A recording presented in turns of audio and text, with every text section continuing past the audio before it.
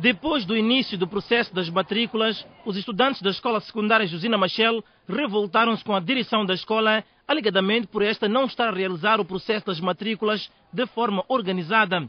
O mesmo para os alunos internos, nos anos anteriores, eram realizados no decorrer das aulas entre os meses de março e abril, sendo que este ano as regras foram alteradas, passando os alunos internos a matricularem-se de 7 a 15 de janeiro e os externos de 4 a 12 de janeiro.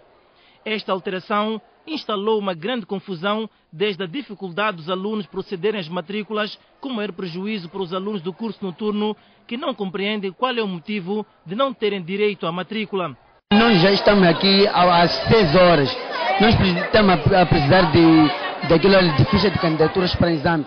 Não estão a dizer nada, estão a dizer que isso aqui até na segunda-feira estamos aqui, estamos a perder um ano por brincadeira. Nós queremos estudar, queremos estudar. Nós, nós estamos aqui desde a oitava décima. E nós somos do curso noturno. Agora, eles disseram que tínhamos que vir hoje, sete e meia. Desde as sete e meia estamos aqui não dizem nada. Agora fica feio, nós não sabemos, vamos fazer o quê? Agora é estranho isso. A enchente está tá muito, tá muito complicada, porque há certas pessoas que estão aqui desde manhã e ainda não fizeram matrícula.